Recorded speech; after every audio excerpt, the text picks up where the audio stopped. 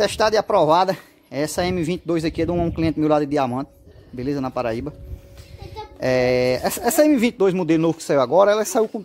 Geralmente tem um é, regular de martelo e de regulador. Mas porém, essa daqui saiu com regulador, uma, uma regulagem na válvula disparadora.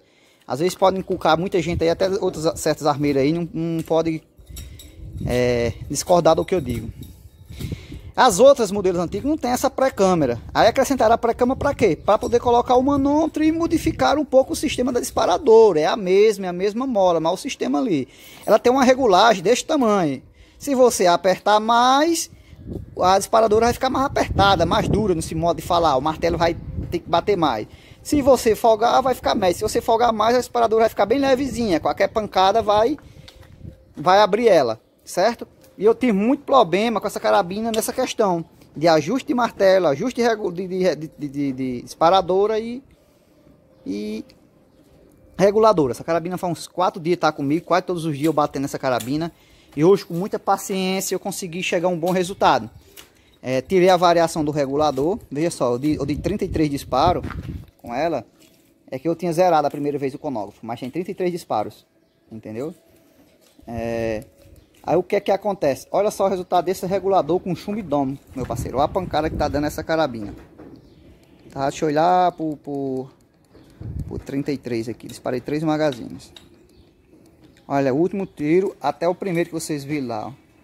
A diferença é de 1, 2, 1, 2 décimos, que isso aí não é nem diferença. Varia vai a 100% aceitável. E o VO dela 263.4. Ele pega o máximo, o mínimo. Deixa eu desfocar aqui o máximo, o mínimo e dá o VO dela. Divide lá 63.9, quase 64, tá? Efetuei, efetuei 30 disparos, 33 disparos. Vou mostrar lá para vocês, para vocês terem noção como é que ficou ela nesse VO. A mola prata se assentando, se ajustando. Mudei a configuração, que ela vem 3.3, deixei a configuração 2.2. Ela trabalha melhor. E Carneves também me orienta muito, me explicou muito a respeito disso, tá? Eu efetuei 33 disparos em um canto só, em um alvo só. Sem mudar nenhum ponto de impacto. Olha isso. Olha só, galera. Teve essa variaçãozinha, foi no começo que minha luneta não estava ajustada. Tava mirando aqui, eu só tinha um já ajuste para poder vir para cá. 33 disparos, praticamente a cabeça no meu dedo. No meu dedo. 33 disparos, minha gente, é 33 disparos. Arrebenta muito o alvo. Se eu tivesse feito individual, tá, tá, tinha agrupado um dentro do outro praticamente. Tá?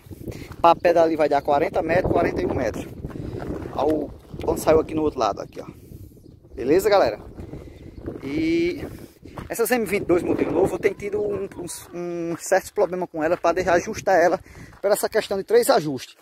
Se você deixar a disparadora um pouco folgada e o martelo apertado, aí vai desperdiçar ar. Essa carabina tá fazendo 3.1 por, por, por, tiro. Tá desgastando o ar desnecessário. E outra, o VO dela não levantaria VO, ela não levantaria VO.